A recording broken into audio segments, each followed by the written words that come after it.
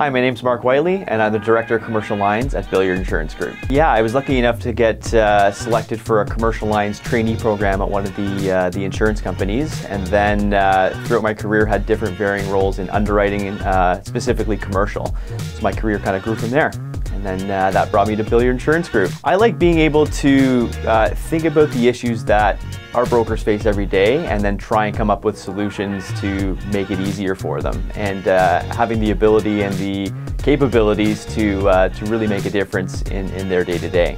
I would say my dad, just the way he treats people, the way he communicates with people, uh, you know, it's just something that I really admire. The people, just like my team, I've got an amazing team. I think one of the first things I do when I get in here is, especially now with so few people in the office, it's it's uh, checking out who's here so I can go and, and, mingle and say hi to people. Yeah, definitely has to be the people. Uh, exercise, yeah, I've uh, really started to get into like a more regular routine and uh, it just makes me feel better. Absolutely.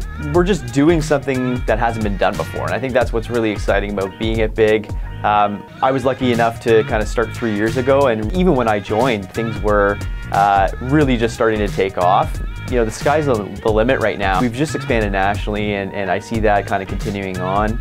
Uh, excited to see where things go. I mean, there's so much um, change in the industry now. It's hard to say, uh, but you know, continuing on our path to um, being the biggest brokerage in Canada and uh, having fun doing it at the same time.